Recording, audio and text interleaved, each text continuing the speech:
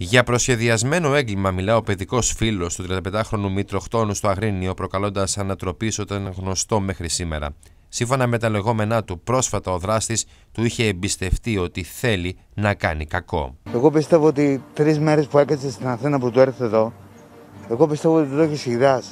Εγώ πιστεύω ότι ήταν προβληματισμένο όλο το θέμα. Ειδικά σε κάποια φάση μου είχε εξμεστερευτεί εμένα το δικατήριο ότι θα κάνει κακό. Και προσπαθούσα να τον αποτρέψω. Ο παιδικός φίλος αποκάλυψε τα δύσκολα παιδικά χρόνια που είχε ζήσει ο Μητροχτώνος, αφού ο πατέρας του είχε φυλακιστεί, αλλά και την προσπάθεια της οικογένειας να βοηθήσει τον 35χρονο, ο οποίος τα τελευταία χρόνια είχε φυλακιστεί για βιασμό και ληστεία, ενώ είχε νοσηλευτεί τέσσερις φορές σε ψυχιατρικές δομές της χώρας. Μία από αυτές στην ψυχιατρική κλινική του Πανεπιστημιακού Νοσοκομείου του Ρίου. Το 2013 είχαμε μια κουβέντα.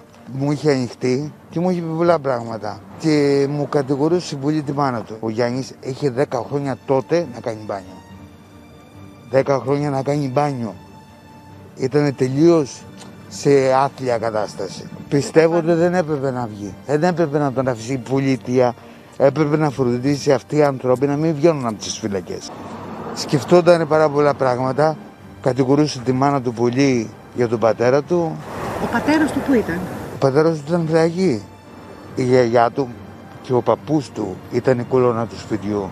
Η γιαγιά του αγάπαγε πολύ του Γιάννη. Είχαν και μια, είχε και μια αδερφή την Άρτεμι σε ένα πάρα πολύ καλό κορίτσι που για να το σώσουν του διώξαν από το σπίτι και πήγε στην Αθήνα. Ο 35χρονο Μητροχτόνο, μετά την απολογία του στον ανακριτή, κρίθηκε προφυλακιστέος και μεταφέρθηκε στην ψυχιατρική κλινική των φυλακών Κορυδαλού, από την οποία είχε αποφυλακιστεί πρόσφατα.